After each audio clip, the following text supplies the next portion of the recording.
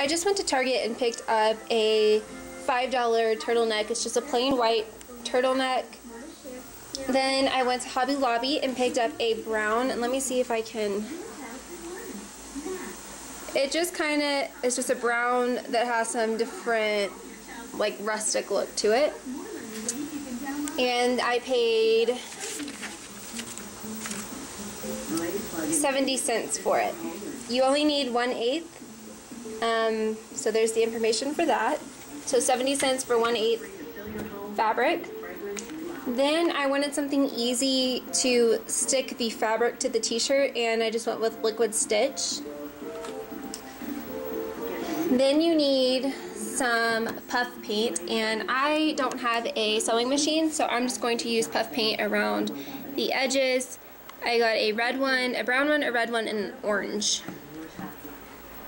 A bow if you're making um, a girl shirt or if you don't want to make a girl shirt, you don't have to. If you do make bows, you can make these. Um, I make bows, but I just wanted something cheap, and these are 99 cents at Hobby Lobby.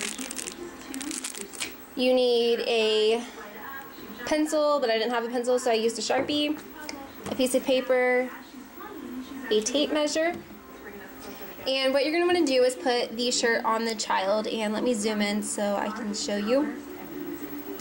I marked on her where I wanted the K to start. Her name is Cadence, so whatever initial you're using, where the K was to start and to end. So that's going to be my outline.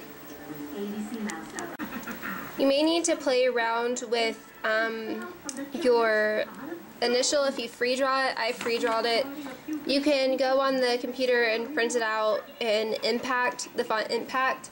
So I'm just going to go ahead and cut it out. Next, lay the initial on the shirt and see if that's the size you want it. If you want it to be a little smaller, a little thicker.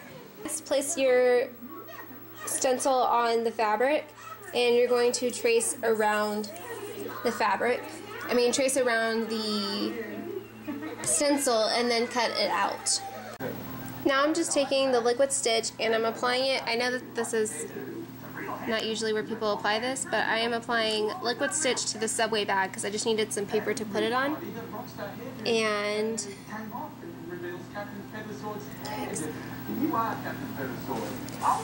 then I'm just going to take a paintbrush and I'm going to dip my liquid stitch onto the paintbrush.